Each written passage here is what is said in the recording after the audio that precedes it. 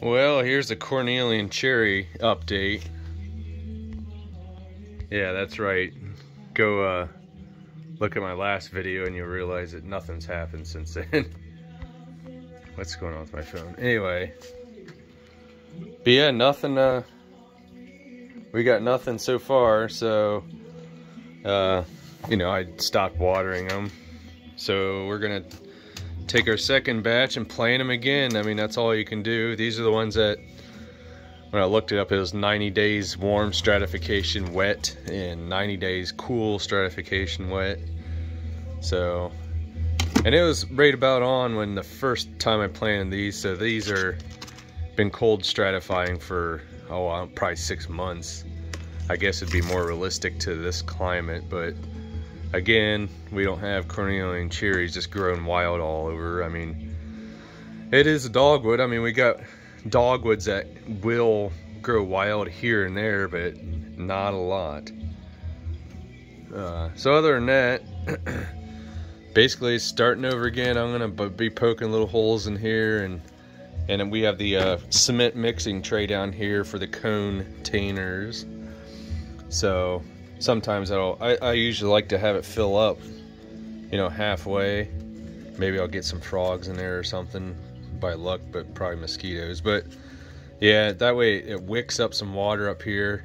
Because these things, if you don't, uh, you know, they, they can dry out pretty quick or you'll end up with a dry spot in the middle. So attempt number two, Cornelian cherries. So that's what's going on. We got uh, some watermelon, those orange watermelon I saved from last garden, and uh, some cucumbers. For I had probably two cucumbers out of that garden last year just because of the slugs. Uh, so I'm gonna try to grow them out for the first true leaves. I mean, I went a little quick and threw them in the ground with the cotyledons, and uh, slugs just. It was either slugs or mice. I'm assuming slugs because they're crawling on everything, but it could have been mice just chewing it right off at the cotyledon end.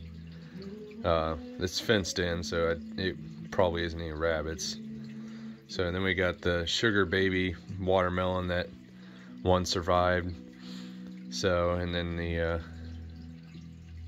what is it two oh Shantai or Shantace or something uh, cantaloupe muskmelon I saved seeds from last year which was a good cantaloupe, but it was only the size of a softball. So we're hoping, you know, planting year after year, it adapts to this soil.